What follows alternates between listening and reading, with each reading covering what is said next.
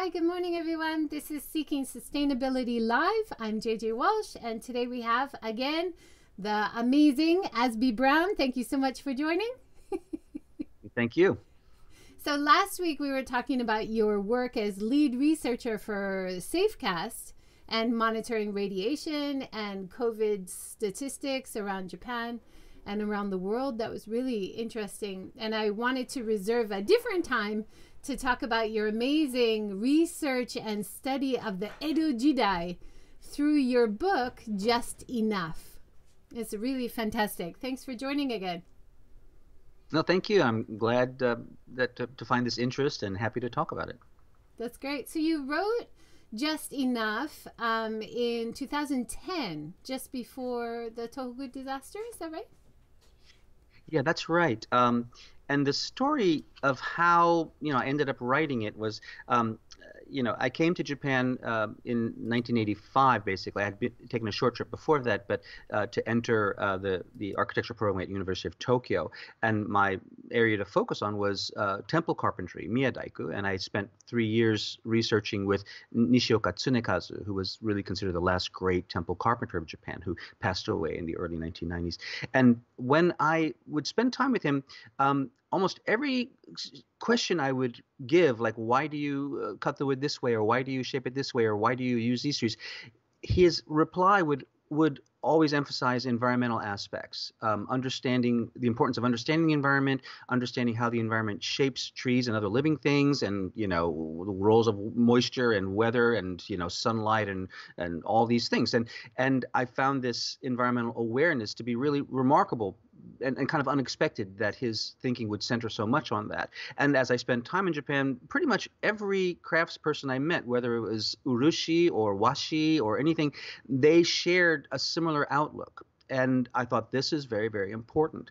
Um, after you know writing uh, a book about temple carpentry called "The Genius of uh, Japanese Carpentry," which I hope one day we can talk about, um, I studied other things like compact housing and, and looking at the sort of uh, low footprint housing, low, low ecological footprint, um, you know, the use of resources in housing and things like that. And I was invited to uh, the Sun Valley Sustainability Conference in 2006. Uh, it was a really, really interesting conference. Um, and the sponsor was Teresa Heinz, who you may have known. She passed away, but she was a very major, uh, you know, supporter and philanthropist supporting sustainability. Uh, William McDonough, architect, sustainability, also so the co-author of Cradle to Cradle. He was the person who directly invited me after having seen my books, and they wanted to hear about this compact housing.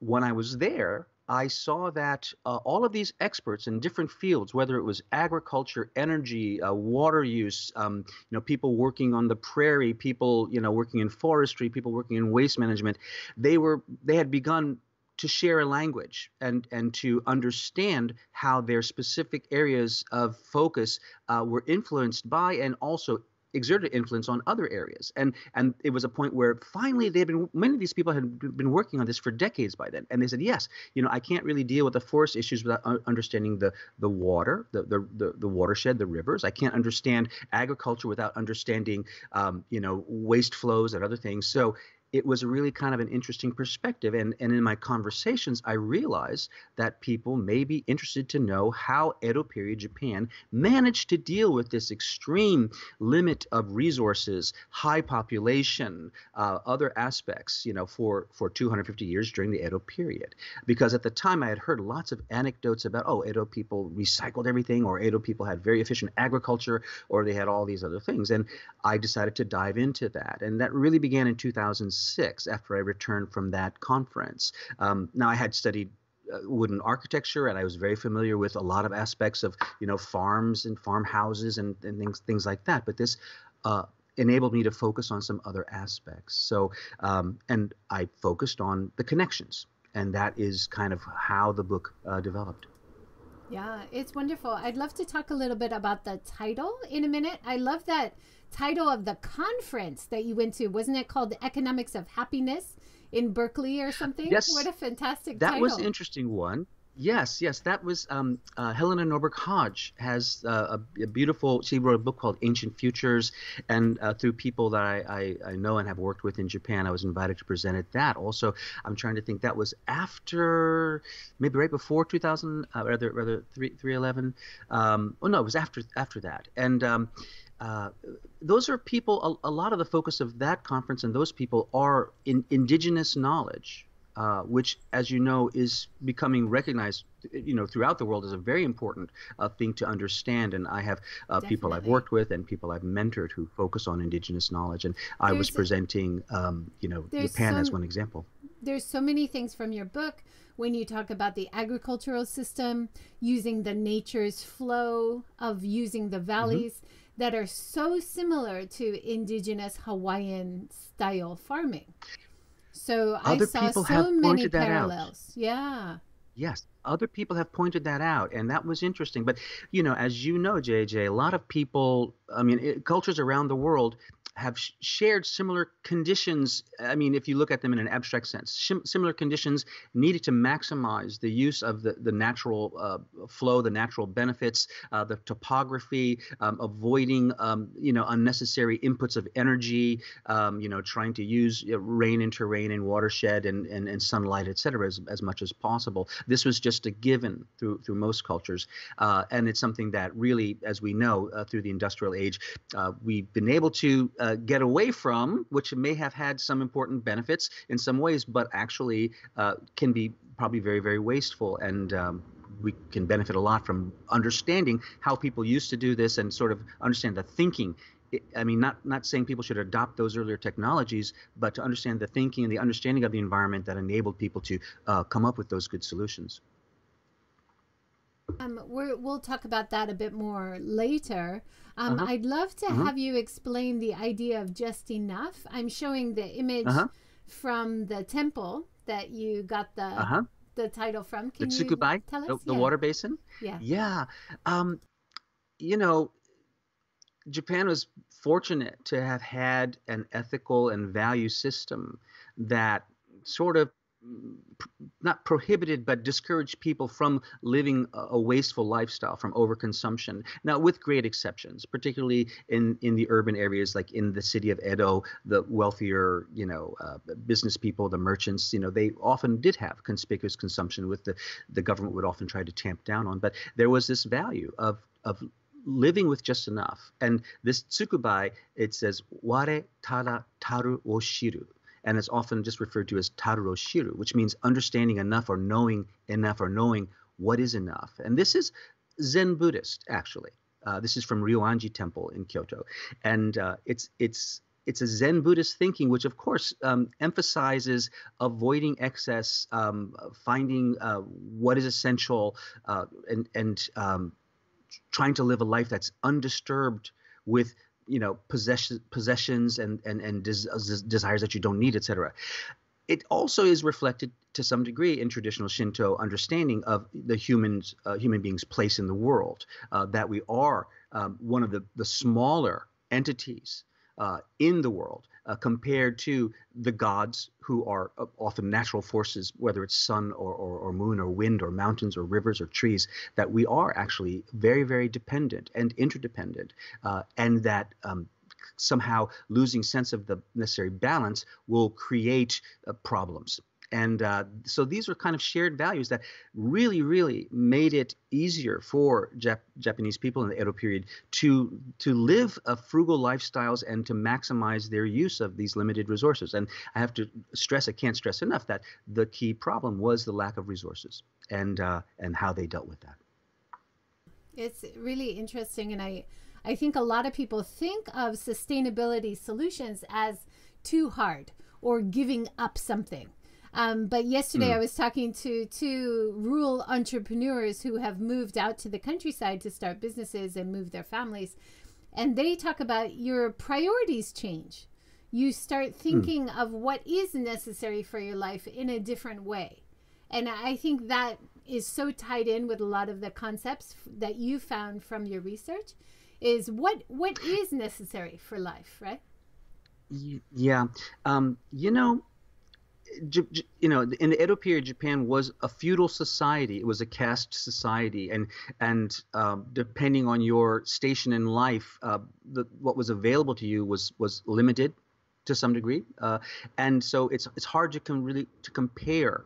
Uh, people living in that kind of society with our situation, our expectations. I think many of us would bristle at the lack of personal freedom or the recognition of, of rights um, you know, even basic the, the, right to your own life, um, you know, because of samurai had this uh, technical uh, right to kill anybody for any reason, uh, and and yet within that, people had a lot of freedom, and um, there was constant reinforcement of social bonds, uh, both you know through sort of natural the, the natural expansion of family groups, uh, community groups, village groups, these connections, uh, you know, intermarriage, relationships, etc. Lots of societies, social groups, mutual support, etc. Lots of situations where people would pitch in together to do certain important tasks, uh, and and the meaning of life was somehow different, not just about consumption, but it was certainly about having enough and having an adequate uh, subsistence uh, or, or, or existence. Uh, and over the course of the Edo period, which you know began in, in 1603 when Tokugawa Ieyasu united the nation after basically centuries of of, of civil war, fighting, etc. Um, over the course of the 250 years until 1868, when the Meiji period began, um, you know, really there was a constantly increasing quality of life. I mean, based on all the research that we see, whether it means the, the amount and quality of food available, to housing, to clothing, to education, literacy, um, it was basically this idea of you know raising all ships at once, all boats raised at once, and and this is you know a lot of it has to do with governance. Uh, and I mentioned that in the the the uh, rather the uh, Edo government, the bakufu, you know, the, the Tokugawa shoguns, uh, and also the various daimyo would often have to issue edicts against overconsumption, against luxury.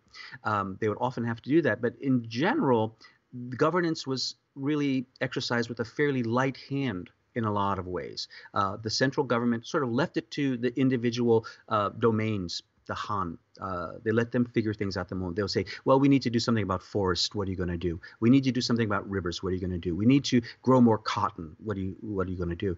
Uh, but they didn't really exert a, a, heavy hand. And it actually, you know, there's research. I don't know if you're familiar with uh, Tanaka Yuko Sensei from Hosei Daigaku. She's a brilliant uh, researcher for Edo, has written many, many influential books uh, going back to the 1990s. And she pointed out that there was a kind of, you know, Confucian basis uh, uh, researchers, one particular person named Kumazawa Banzan, who wrote uh, specifically about governance and the notion that the purpose of um, of governance uh, and of life of the nation is not to amass wealth.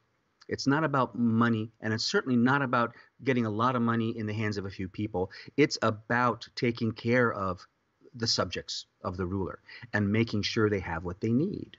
And in a situation like Japan, this means really uh, finding a way to to stretch and distribute those limited resources as much as possible to as many people as possible.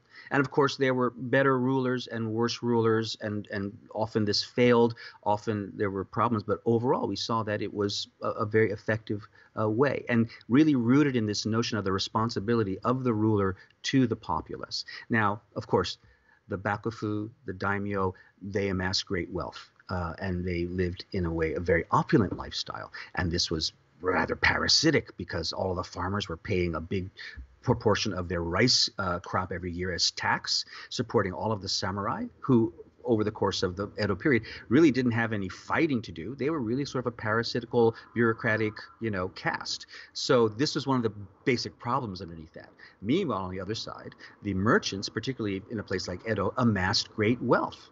Uh, some of them became very, very wealthy, more powerful in terms of their income than a lot of the uh, feudal lords, the daimyo, who would be, become in debt to these people. So it was skewed and it, it wasn't really uh, sustainable in its economic sense uh, for long enough. And that's one of the reasons why the system collapsed uh, and, and the Meiji period was ushered in. So um, there's a lot to think about about what is uh, good governance, what is um, a good lifestyle, etc. But I just want to add finally the the lifestyle of Edo Japan, the things people used, their their material culture was beautiful, often exquisite. Uh, it, there was really no sense of doing without. It was more the sense of doing something simply and beautifully, uh, if if possible, and uh, and we see that throughout the culture that even now is prized as as one of the the, the, the peak uh, beautiful cultures of the world. I think that's a really valid point.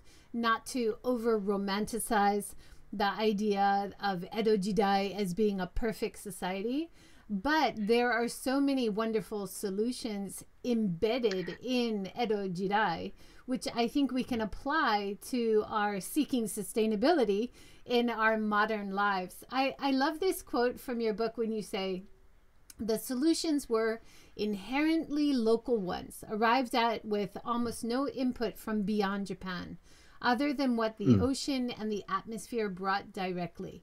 And I think this is this is sometimes a problem when people are looking for solutions.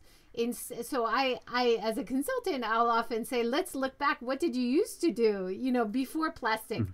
or what did you used to do 20 years ago and and let's see if that might work now and um, there are a lot of great solutions from within japan especially during this edo period so uh, i'd like to yeah. talk about some of your examples today like um, yeah. the sento let's dive in can you walk sure. us through the sento yeah, um, one you know one of the terms that I use is multi-form solution, and uh, because again, what we're going to learn from Edo, I think mostly it's it's not necessarily governance. We can learn something about values through Zen maybe through Shinto understanding of nature. There's a lot uh, uh, that we can dwell on from that. But I think uh, this notion of resource use, understanding how things are connected and how making a change in one area can have an effect in another area and they can beneficially reinforce each other. I call these multiform solutions. And, you know, we have the, the notion of killing two birds with one stone. And I often point out that in Edo,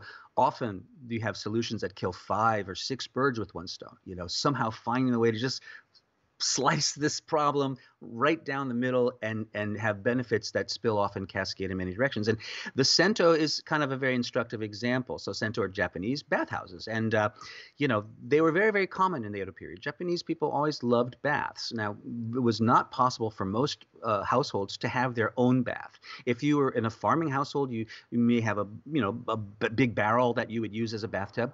Uh, but in urban centers, you'd have to be fairly wealthy to have a private bath. So everyone went to the Sento. And what happens at the Sento is that mm, in one day, one afternoon, evening, about 200 or 300 people can use the bath. Uh, and there would be a very large tub, uh, and people could get in. Uh, and, and this means that um, the, the amount of fuel that is necessary to heat that water uh, it is much less than it would have been if these people were sort of individually trying to heat baths for each household. Really, uh, tens of times uh, less fuel, and and it it's not that someone uh, from the top said, "Oh, we need to come up with a solution to you know maximize the use of fuel for people to bathe."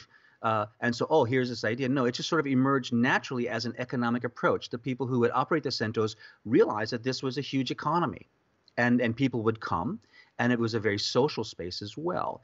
And one thing that I learned, which surprised me, was you know, when you would go into the Sento, uh, you know, you pay, pay, your money, just like if you go to one of these little onsen these days, you know, neighborhood onsen. Uh, you, know, you pay your money, uh, you, know, you put your clothes in a locker, uh, you go to the changing room, you know, and, and your your basic admission fee would, would give you one bucket of hot water for your personal use, just one bucket. Uh, you could use all the cold water you wanted. You could get in the hot bathtub as much as you wanted, uh, but you only got one bucket. And this again is because you know the, the cost of energy is high. Why is the cost of energy high? Because it depends on forest resources, depends on wood. All the fuel was either wood or charcoal. Uh, and so this is something that one of the big problems before the Edo period was over uh, overcutting, deforestation. So there was this conscious desire to to you know minimize the use of fuel resources. And this is one one aspect of that. So we i say that you know in our society uh, we're very specialized. So you'll have people who will specialize in like, like i mentioned for the sustainability people in water or forestry or uh, agriculture or waste or something else. Uh, rarely are we encouraged in our education in our training to look at how these things influence each other, these connections. Maybe more so now than before because of this understanding uh, uh, of our, our issues with climate and environment, but uh, it was very unusual. But this idea of, oh, if you minimize the use of fuel for uh, uh, making hot water, then you are actually helping with two issues the water issue and the fuel issue. Uh, meanwhile, in the bath, this is making people clean. Uh, this sort of hygiene, Jap- Japanese people often they are renowned for having good hygiene, which we've seen uh, in the past year under coronavirus has probably been of great, great help. So this you know, better hygiene is better for health in general. Uh, so you have fewer, you know, diseases and communicable diseases and problems like that. So this Sento, as an institution, has economic benefit. It has a benefit for fuel. It has a benefit for hygiene, and it has a great social benefit because these were primary social spaces as well. Just a beautiful, beautiful approach. Yeah, it's wonderful, and the fact that Sentos in Japan are now dying out if we want to have a more sustainable future, we should really uh, support and encourage the Sentos to stay open because not only are they more efficient in terms of water use, energy use, um, instead of everybody doing bath or shower in their own hotel or in their own house. Um, it's also a way to keep the culture and the heritage of this idea going and uh, bring communities together. It might be tricky during COVID, um, but I, yeah. I love the idea of sentos and onsens being supported. Yeah. And it's interesting that now they are more of a luxury. People go for fun, for something special. I mean, there's one in our neighborhood, not not too far away. Well, you know, actually, it, it you have to drive to get there, but uh, you can get a massage, you can have something to eat. You know, it's kind of a fun social place. Um, you know, fortunately though, we have other ways to generate hot water that don't necessarily require fossil fuels. So I think as our general energy systems shift to, um, you know, renewable energy, to solar energy, et cetera, et cetera, that maybe some of these problems may be less so. And I look at Japanese baths and hot water systems. I think they're very advanced and actually very, very efficient and getting better. But yes, it's true. You know, this general shift towards emphasizing privacy um, in Japanese society, uh, you know, often to the to the expense at the expense of social social connection, social bonds is is I think a problem, and not just in Japan, in many places. But yeah, now uh, it's unfortunate. I remember when I first came to Japan, I met um, an American who was a student, uh, and he lived in this very very small apartment in Shinjuku, and there was no bath there, uh, and we would go to the Sento, and it was really interesting. And this is one thing, you know, uh, I was so frustrated because you know you'd go there, there'd be a shower or you'd have the little spigot to fill your, your little bucket and you had this lever that you would push down and the water would come out right the hot water would come out and then after 30 seconds it, the lever had come back up and it shut off and i was really annoyed by that I thought, oh God, I hate that. You know, why don't I have why can't I have hot water? And then as as I was researching the sento, I realized, oh, in the old days you would only get one bucket. So this is really the same uh, notion of conserving this hot water that in the modern period, this is probably a Showa era invention, this sort of spring, you know, handle, I think, um, it was really the same thinking which persisted. Uh, and in a similar way, we talk about bath and water, et cetera. Nowadays, like 60% of Japanese households use uh, the bath water.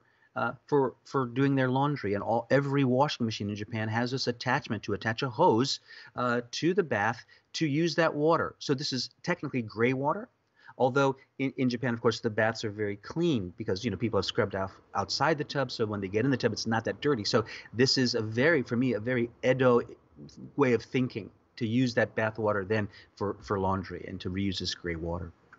Uh, absolutely. It's a great idea. We do it at our house. And because a lot of the mm-hmm. washing machines in Japan do not have a warm or hot cycle, if we ah. do the hose after a bath in the evening after everybody's used it, it's warm water, and then you can get it's your warm water. warm water wash in so your you're using machine. that residual heat. Yes, using that residual heat instead of sending it down the drain, right? Yeah. I mean, I was also impressed when I first came to Japan. I did homestay, and uh, to, uh, when seeing this sort of insulated cover that they would put over the bathtub, I thought, wow, what a brilliant idea! Because the next day it's still a little bit warm, and you don't need to do as much to heat it. And you know, one thing I don't know if you want to talk about this now, but there's something called gyozui, uh, which is you know you might consider it as cat cat bath cat bath you know and and this was very common and particularly in rural areas to leave a big you know pot of water out in the sun all day and it would get warm. It, it's lukewarm. It's warm. It's not hot Uh, but it, but in the evening, if you're going to wash off of that, it's actually pretty nice, and there's no need to use any fuel whatsoever for that. And this was very very common to say, okay, the the, the sunlight can actually uh, provide a source of heat uh, enough for this water. So this is also we think of these vectors, you know, the solar energy uh, helping to make the hot water and this sort of thinking actually occurs in other places in certain agricultural uh, uses to to to um, you know use the solar energy to heat water for agricultural use or for other other things as well. So it's a, a beautiful thing. Of course, you could use that same warm water then if you're going to make tea with it, then that also minimizes the need the, the need for fuel. And then uh, we're on the issue of hot water. Over time, um, you know, Japanese uh, teapots would be on a little three-legged stand uh, over the the coals, for instance, uh, to to heat in in a hibachi or in an irori. Uh, and over time, the design was refined so that um, you know actually the bottom of the teapot would be as close to the heat as possible. And this was just a sort of steady process of, of of refinement. You know, it's not like again this thinking up at top. Someone says, "Oh, we have to, you know, maximize this." Little by little, ah, if we get it closer to the heat, we can use these coals longer, and it's easier and less fuel. So this kind of thinking pervaded the culture. Oh, wonderful. Um, also, mm. so about the ideal bath, I've got your uh, thing from one of your talks. You say saves fuel, feels good, reuses water, and feeds the plants. So that was that was yes. a great great concept that they yeah, had very yeah. circular, right? Yeah, yeah, yeah. And so, again, um, you know, yeah, uh, again, th- this reuse of the water, the gray water in the farmhouse, you know, farm uh, farmstead, it would go to the the pond. You know, there was a farm pond which wasn't used for drinking water, but for all the other water uses, and and and also for irrigation, etc. So this was kind of a, a, very, I mean, just a matter of course. Of course, you're going to reuse that. You know. Yeah. Speaking of waste of water, in most modern mm. houses in all over the world, including Japan, mm. the biggest waste of water is through the toilet. And you've got yes. some great insights from Edo Jidai about how they utilized toilet waste. Yeah.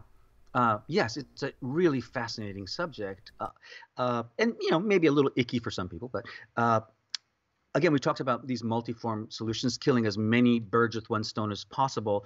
Uh, if we contrast the situation in Europe and later, you know, certainly in North America, uh, the United States, by the end of the Edo period, you know, America had been existing for over 100 years, um, especially in urban areas. You know, the, the handling of human waste was the cause of uh, great you know, disease, cholera, lots of problems. Uh, eventually, you know, the flush toilet was developed, which was very hygienic from the point of view of the inside the home. It got that stuff out of the house, but then it's going into the rivers, you know, and it's polluting it. And we're still using a very similar system uh, although then we have water treatment, waste treatment plants, and you have to use the chemicals or other, you know, energy inputs uh, to treat this water to get this waste out of it so that can be reused for something else. Uh, and we've been doing this for basically a century or, or longer. Uh, in in Edo period Japan particularly uh, in the urban areas, the human waste was recycled uh, to use for agricultural fertilizer. And at the beginning of the period, uh, you know, if you were a, a, a homeowner or a landowner, uh, you, let's say you had Nagaya apartments and you had a sort of uh, common uh, latrine toilet, and this is basically a latrine would go down into a pit you know you would have to pay someone to come clean it out I mean, that was the situation at the beginning. And this was, you know, an annoyance and a little bit of an economic burden. But little by little, in, in the drive to Im- increase agricultural productivity, uh, and this was something that happened continually through the Edo period, uh, really increasing this productivity. The use of fertilizers became very important. And initially, uh, green fertilizer, what's called karishiki, which is basically you know compost composted uh, green matter, was uh, the most common fertilizer. But there were other there were other things that were used. For instance, uh, rapeseed husks were used as fertilizer, so they would press the rapeseed to make oil, and then these husks became like this cake, and that was one fertilizer. The same for sardines would be pressed for oil, and then the sardine, the, the, what's left over, the other stuff was also fertilizer. But those were kind of expensive and uh, you know needed a certain uh, you know uh, access to them. But human waste was everywhere, and little by little, uh, farmers would uh, make deals with.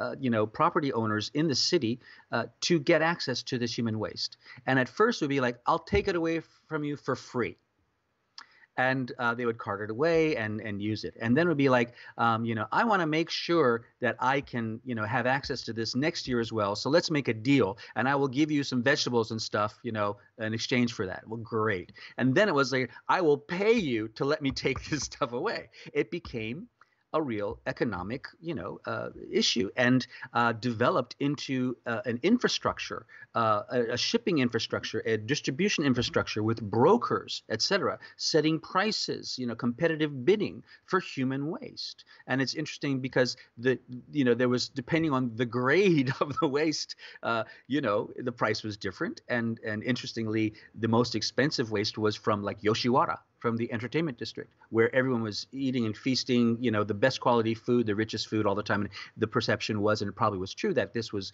the, the, the best fertilizer. So this became very very common. Now you know the way they would treat it would be through hot composting. They'd take it to the farmstead uh, and then they would hot compost it for generally a few months, really. Uh, and, and hot composting actually generates an internal heat enough to kill most microorganisms. Uh, maybe not everything, but we don't hear a lot about parasites. Um, etc. After the Second War, when this was also done, uh, there were a lot of problems with parasites. I think because uh, the process could not be carried out uh, efficiently and fully. Um, and nowadays, you know, one of the big problems would be pharmaceuticals. Everyone's taking medicines, and this gets into our waste, and it's not something that you want to consume if you don't need it. So maybe there's some technological situation back there. But I tell people, like, you know, the situation would be like if you had a composting toilet which I saw and used my first composting toilet back in the early 1980s, uh, out of college, working on an interesting uh, architecture project with sort of subsistence farming. Uh, if everyone had a, and they've developed fantastically over the decades. If you had a composting toilet, uh, and then every month or so, someone would come and pay you like 500 yen, you know, five bucks to take it away. That would be the similar situation. They're coming to take that away from you uh, paying you to take it away. That would be the situation. Uh, it could be beneficial. There must be a way. I hope we can find a way to use what's you know, it's called humanure. I hope there's a way to find a way to use it. But you know, at present, I do think there are some risks, particularly the pharmaceuticals, um, for that. But anyway, to, to, to come back and sort of wrap that up. So the problems that this solved was one, agricultural productivity, two, hygiene. This stuff is not you know, sitting and festering in the city. It's getting out of there. Uh, three, it's not going into the rivers. You're not polluting uh, the water supply with that. Uh, four, it's also providing, you know, economic benefits. So this is like four uh, things that are not solved, but really uh, partly solved by this one uh, infrastructure and this one approach to dealing with this waste. Yeah, and I should mention that all these wonderful sketches that we are looking at are done by you, Azby. I love your yes. drawings. Thank you, thank you. Um, in the book itself, they're all you know black and white line drawings, and then over the the time, I've I've made lots of color versions, and actually hope to make a color version of the book um, if possible. But yes, I love drawing, and um, at the time I was writing this book, I was teaching full time at Kanazawa Institute of Technology. Uh, actually, I was even homeschooling my my son at the time. Uh, I was doing other work, and I would have to find time to do drawing, and the, the drawings took about a year. Uh, but I loved it. I would just sit and start, had all kinds of research material, and I, I can't overstress how much uh, writing a project like this, research like this, depends on prior work by other people, both in Japan and overseas. I mean, basically learning from other people's research and just finding a way to integrate it.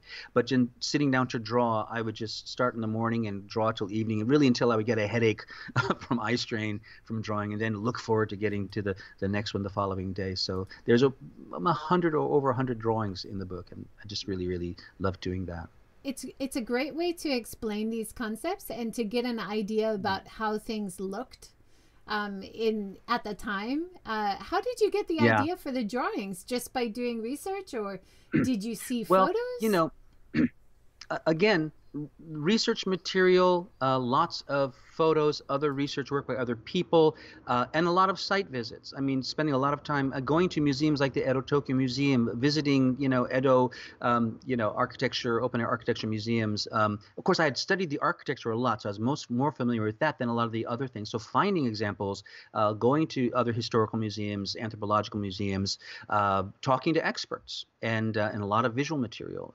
books and publications and things. and I guess my approach was, you know, I wanted to find find a way in each drawing to sort of encapsulate the totality and then to show how various aspects, maybe physical parts, interacted with each other, uh, often through exploded views or other things to show how mechanisms worked or how a, a, a process was done. And and one of my inspirations for that was uh, the work of Eric Sloane. Are you familiar with Eric Sloane, uh, American? He he was New England um, in the 40s and 50s. He did these wonderful books about early American culture and and and farm you know farm implements and farming and farm buildings. And and they were just beautiful beautiful drawings which had inspired me since certainly since my university time and I wanted to do something like that. And over time I had I had done several of the books already by the time I started to write this one the the, the carpentry book and then house books and they all include drawings that I'd done myself. So thinking about how to do something that's visual enough that people can learn a lot just looking at the pictures uh, and another source of inspiration were actually Japanese uh, books from the period about these things, because um, almost every aspect of Japanese life, you have to think about this. It was a very, a very highly literate society. I mean, even in villages, you had like 40% or more literacy uh, in the villages. And for the people who couldn't read, they could learn by looking at illustrations. So this was very, very well developed. Uh, there were books called nosho, so farming manuals that were published, which would show how you make hoes, what kind of different hoes do you need to use for different kinds of you know crops you're growing, or you know, how to build a well, or how to do anything, and and they could understand just from looking at the illustrations if they weren't able to read the text. One one thing I heard you talk about in one of your seminars about the manuals coming from the government sent to the communities yeah. to show them how to do yes. some of this innovation or how yeah. to design their communities. That's amazing. Yes yeah the, the, motivations i mean again publication the, the, the publication industry in japan was very highly developed and i think it's very well known almost everything from literature to history to to to everything else and and certainly agriculture got a lot of attention uh, so often the government would sponsor researchers to learn something let's say like cotton farming would be a great example because the government wanted to increase the production of cotton uh, initially they thought it was a very good thing to use for uh, military uniforms and, and things because it's very sturdy. Also, it can be washed in a very high temperature compared to um, flax or other asa or other tech, uh, you know fibers that were being used. So uh, there was a big uh, interest by the on the part of the government to increase its production. So they would, you know, commission researchers to learn everything about cotton farming and to write a book and and then these would be published and distributed. And you can you need to picture um, books becoming available uh, uh, by the government coming down to the village headman's house, and he's reading it, and they call a village meeting and say, okay, we want to talk about cotton. You know, who has enough fields to do cotton, and this is how we do it. And they could be reading it for the people who couldn't understand the text, and the others could be handing this thing around and looking at the illustrations.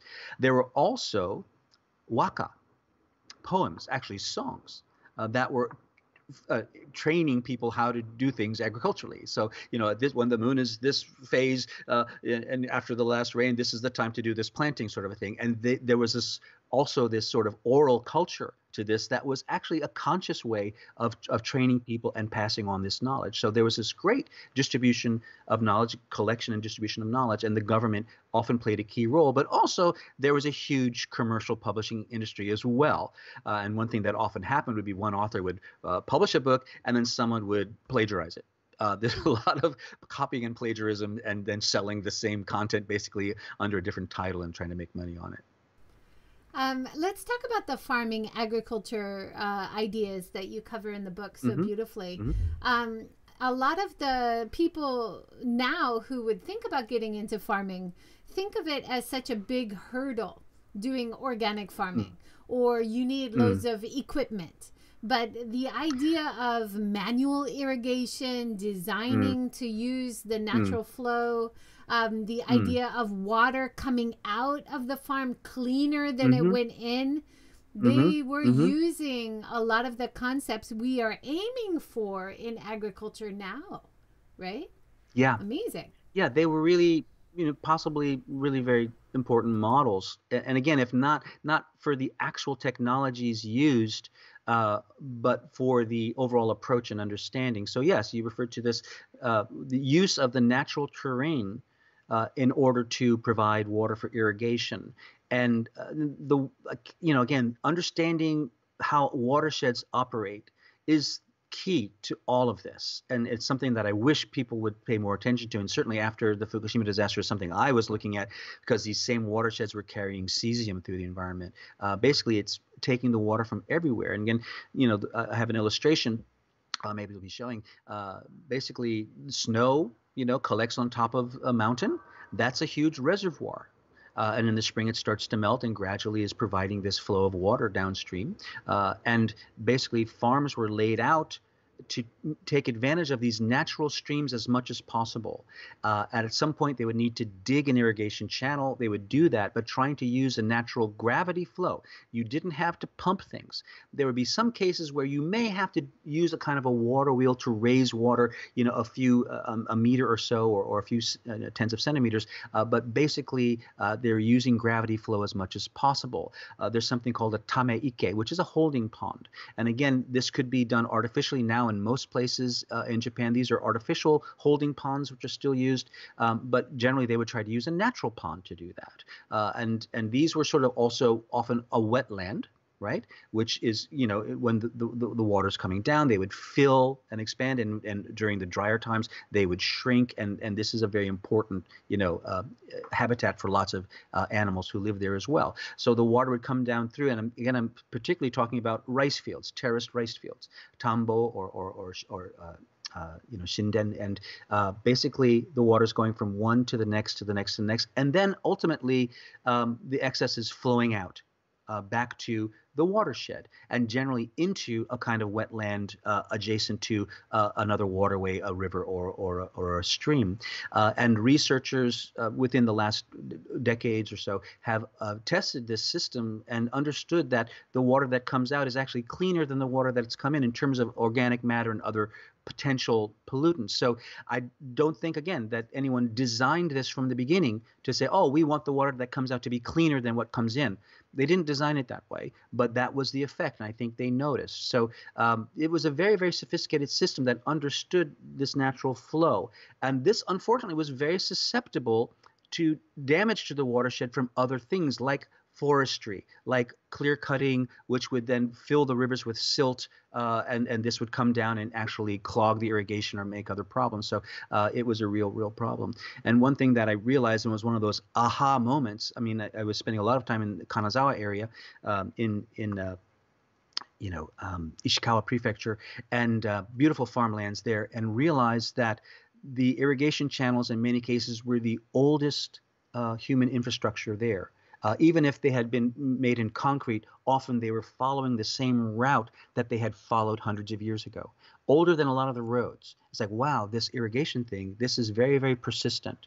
Uh, it takes a lot of effort to dig these channels, etc. So if they work, if the terrain is unchanged, then that route for the water to flow is probably going to remain the same for a long time. Nowadays, of course, you have pumps, you have a lot of uh, technology that's used to do this, but if you go to farms in Japan, it's still pretty low tech. You know, there's a little gate and the guy cranks it up, it opens it up, and the water flows down. Uh, it's still pretty low tech and very, very, um, you know, uh, very much uh, continuing the way it was done in that same locale uh, centuries before. Yeah, and it's it's such a beautiful design. It doesn't harm the view of the landscape either. It it's beautiful the way it flows through the valley and the houses are yeah. on the outside or the communities on the outside and of course there yeah. there was very little if any food waste and the upcycling of all the byproducts of rice which was mm-hmm. the main staple mm-hmm. crop um, were yeah. very well used you document that yeah, really yeah. well. It's a great example when I when we talk about you know full use of a, of, of an agricultural product or other resource. Um, in Japan, rice was a, a prime example. And again, uh, the the most economically valuable uh, product of rice farming was uh, white rice, right? Shinmai. And this was actually what needed to be paid uh, as tax to the government by farmers. And this would be sold as the highest value thing. Of course, people were, eating a lot of brown rice, genmai, uh, on a day-to-day basis. Of course, still a lot of families couldn't even afford that; they were eating other grains uh, instead.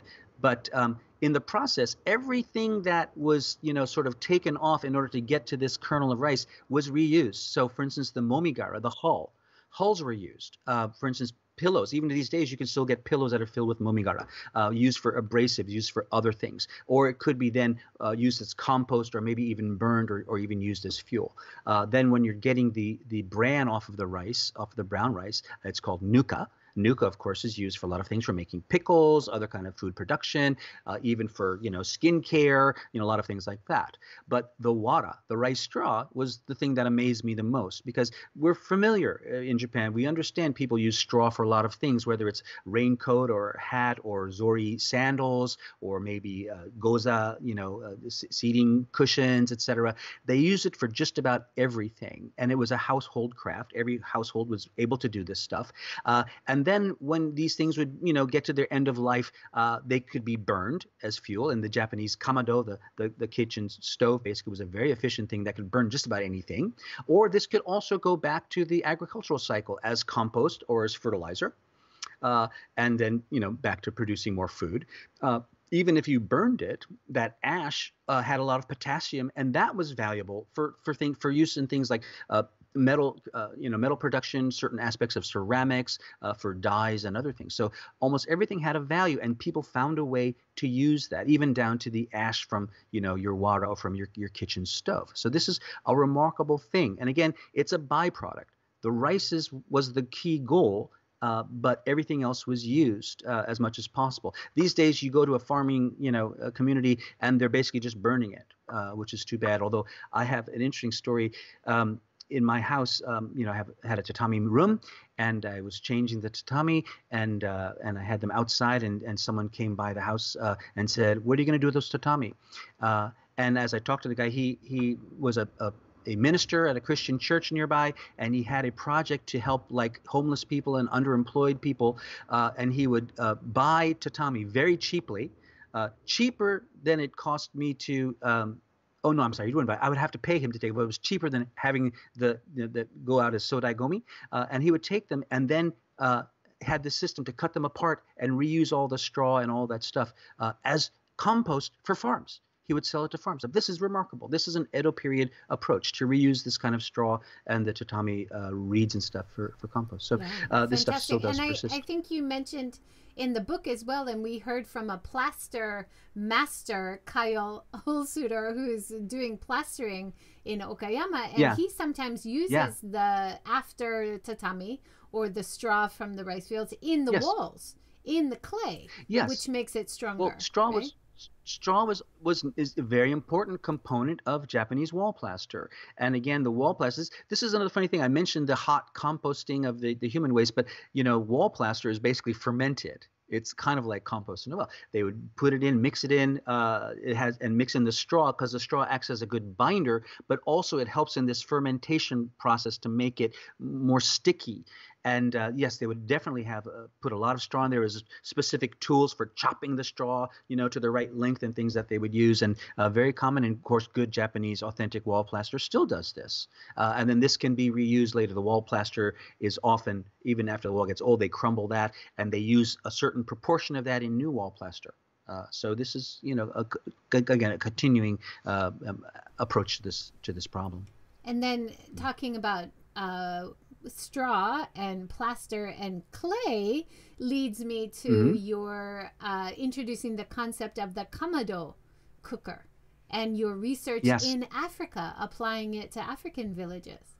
Yeah. Amazing. Yeah, this is because, you know, around this time, eh, before the, the disaster in 2011, I had a research project with some colleagues uh, who had spent a lot of time in Africa, particularly Zambia, uh, western province of Zambia, which is very underdeveloped, um, you know, near the, uh, the Zambezi River. And um, I people there were basically the, the, the production of, of, fuel and cooking uh, fuel was really a big problem. Uh, there was a lot of deforestation going there, and this area is very prone to desertification. So uh, it was really becoming a desert, you know, over the course of one generation.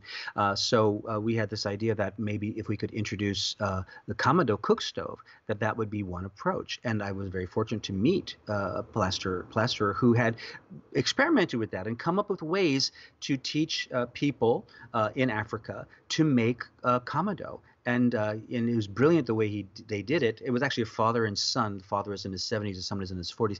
Um, they would use a bag of sand and put that there, and then very simple for anybody to then put the clay uh, around that as a form and shape it uh, and then when it was hardened, they could just cut the bag and take out the sand and take out the bag, and you had a nice kamado. And of course, the kamado has a lot of advantages. Basically, you can design it that it fits with your cooking pot, so there's no leakage of heat around it. It, it basically retains the heat, and again, it, it can, uh, uh, you know, it's very efficient uh, in terms of other fuel use. So this was a project that we we uh, initiated, began. Um, I'm sorry to say that it never really was fulfilled in the way I would like to have fulfilled it, and the disaster happened shortly after, and basically got diverted into radiation monitoring. But it's definitely something I thought.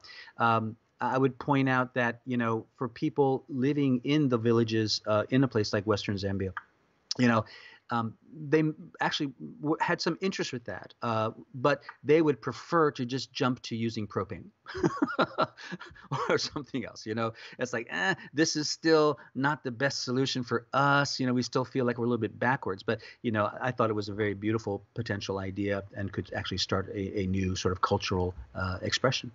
Yeah, no, it was great, and I.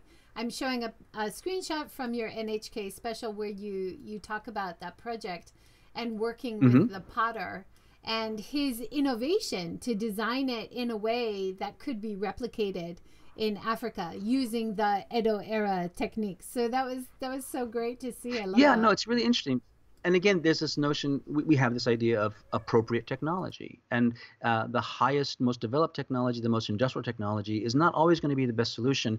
And particular in a resource-scarce environment and economically uh, deprived area, uh, it's always going to be an issue of how to make use of of of what's there uh, and what's easily available. And in these places, certainly, uh, you know, clay and sand and this kind of earth was very, very available. And there is a lot of cultural background to using these materials for housing and for other things. So it's a very, very familiar material, uh, which which I thought would be done. But you know, point out that there's at the same time lots of beautiful projects to make solar cookers or to make um, you know rocket stoves, very simple stoves that are also very fuel efficient, but then still need to be made out of steel. And again, this is a very attractive approach to uh, uh, communities of, people who feel like they're they're sort of looked down on as being backward. So it's uh, always going to be tricky to find out what the the most attractive solution is, uh, and even often the easiest and and most environmentally sound one may not be the most attractive one to people.